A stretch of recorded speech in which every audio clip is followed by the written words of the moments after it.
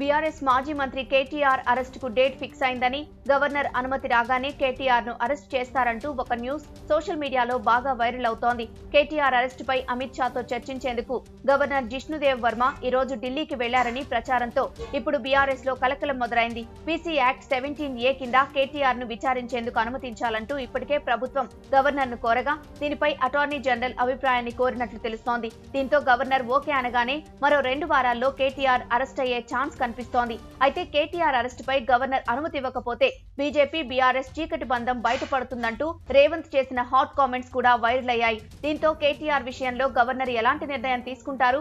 రేవంత్ ప్రభుత్వం ఎలాంటి చర్యలు తీసుకోబోతోందనే విషయంపై ఇప్పుడు చర్చలు నడుస్తున్నాయి. ఈ రేస్ స్కామ్లో కేటీఆర్ అరెస్ట్ తప్పేలా లేదు. కేటీఆర్ విచారణకు అనుమతి కోరుతూ ఏసీబీ రాష్ట్ర గవర్నర్ అనుమతి కోరింది. ఫార్ములా ఈ రేస్కు సంబంధించి ఏసీబీ విచారణ చేయాలంటూ పురపాలక శాఖ ముఖ్య కార్యదర్శి దానకిషోర్ లేఖ రాయడంతో ప్రభుత్వం అనుమతిచ్చింది. ఏసీబీ జాయింట్ డైరెక్టర్ స్థాయి అధికారి నేతృత్వంలోని అధికారులు ఫార్ములా ఈ రేసు అంశాన్ని తిరగదోడుతున్నారు. అందులో భాగంగానే అరవింద్ కుమార్కు నోటీసులు జారీ చేశారు.